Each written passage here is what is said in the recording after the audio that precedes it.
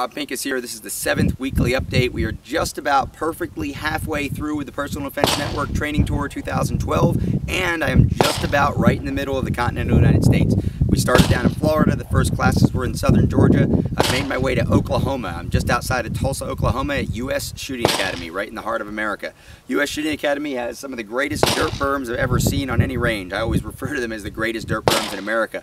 But what's important to know about U.S. Shooting Academy is they also are under new management for the last six months or so. They are really making huge headway here in improving things and making things as best as they've ever been out here at the ranges. It's really cool. The ranges are in great shape. The staff is really up in spirits. There's people all over the place. People training down at the range down there over this past weekend while I was running a CFS course. It was incredibly busy. Today I'm doing an APH course. I was up there talking to the management. Things are really looking up at U.S. Shooting Academy, which is a great thing. This is a great facility and I like to see them doing well. The new pro shop is really coming along well. Is also, it actually looks better than it ever has since they've opened the doors. So good for them. Things are good here in Owasso, Oklahoma. Meanwhile, I've got my bag here. People ask me, oh, Rob, what's your everyday carry? What do you always have with you? What kind of equipment do you carry? Well, of course, because I'm traveling all the time, whether on a plane or in the PDN tour truck or, you know, even over international travel when I'm dealing with things over in Europe or whatever else, it's hard to say, well, here's what my everyday carry is. And of course, most people, when you think of EDC, you talk about on the internet or on the Facebook, in the forums, people are saying, you know, well, I've got, you know, my primary gun and three magazines and 16 flashlights and a knife and you know, this and that, backup gun, ankle holster, nunchucka, whatever it may be. And the reality is it's just not what I can do, not the way I move, not the places I go to, because I can't carry a gun every day. I don't dress the same every place I go. I do have to kind of have what is my everyday carry be? Well, here's some stuff I have with me every day. And I've answered this question before, you know, the kind of things I have with me every day. I've got my laptop, you know, I've got my iPad. I use that for navigation, instant access, answering emails, answering uh, questions on the social media, checking out the Personal Defense Network Facebook page.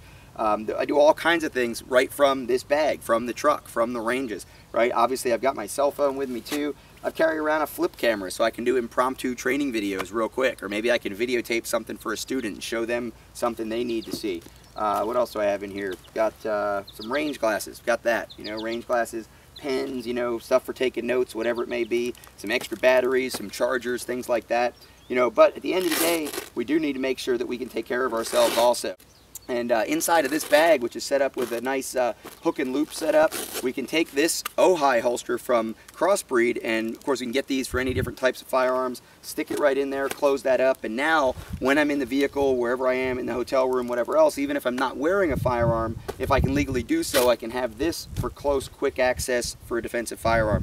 In this case, I'm carrying my Ruger LCP with the LaserLyte side mount laser. Um, this is a great addition. These LCPs have been very, very popular. Of course, we had someone uh, early, uh, if you watched all the weekly updates early in the uh, season, we had uh, someone actually come through a class with an LCP. Now that's pretty rare because we know a lot of these have been sold, but we don't see them show up at classes all that often. Um, I highly recommend having a laser as a tertiary aiming device. Primary aiming is kinesthetic, secondary aiming is going to be your sights, but the sights on something like this really aren't that usable under a lot of conditions. Having something like the LaserLyte side mount laser as a tertiary aiming device gives you in that low contrast situation, that point of aim, also in an extreme close quarters situation where you don't want to extend the gun because it might get hit or taken, we can stay in, activate this, see that laser dot show up and know right where we need to be. So this is a great option both from Ruger, from LaserLyte, and then add to that perfect mix the uh, holster from Crossbreed and stick it in my bag. And that is my everyday carry.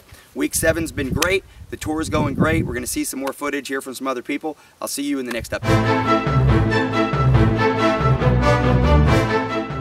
Hey folks, Mike Seeklander here with the uh, Personal Defense Network Tour. I want to talk to you a little bit about what I do and what I'm going to be doing this summer and hopefully catch you in a class.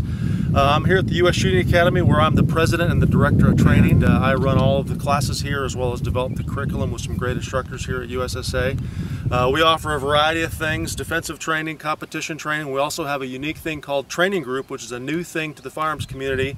Um, and it's somewhat similar to a martial arts dojo in that you can show up uh, five or six days a week and take multiple sessions here at USA. So if you're local to the Tulsa area and have an interest in training, the block sessions are an hour and a half in length and they're, they're great for your learning experience because they're not long, hot, or cold days and uh, they've been very successful so far. Uh, for those of you near the Missoula, Montana or Western States. I'm going to be in uh, Missoula in June of this year, next month, teaching two classes, defensive rifle and defensive handgun. And uh, along with the, the drills and skills portion of the, the, the classes, I'm going to teach you how to train, which is something that you may not, may not get in some other classes. So a combination of technique and how to train that technique, I think, is critical for your skill development. So I hope, you can, hope I catch you in one of those classes. Uh, Alaska right after that, I'll be up in Fairbanks, Alaska for another defensive handgun class and uh, obviously here at USSA in July for a tactical handgun class. I hope, hope to see you out there somewhere. Uh, I regularly contribute to the PDN. I think that's one of the best sources of information on the web that you can possibly find. Uh, unbiased information from great instructors. So if you haven't been on the PDN lately, I, I recommend you check out those articles and uh, videos. And I hope to meet you or see you in class someday. Take care.